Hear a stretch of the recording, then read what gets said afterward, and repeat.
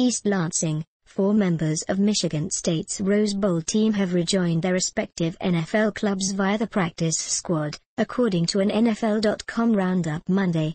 Middle linebacker Max Bullough is back with Houston after a strong off-season of camps and playing well in preseason games. Offensive lineman Dan France, Cincinnati, offensive, defensive lineman Tyler Hoover, Indianapolis, and receiver Bennie Fowler, Denver, all earned practice squad assignments.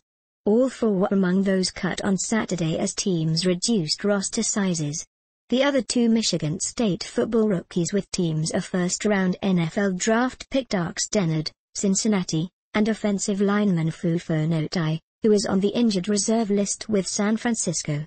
France, who suffered an ankle injury that forced him to miss the Rose Bowl, worked hard to find his place with the Bengals, making the most of his snaps in preseason games.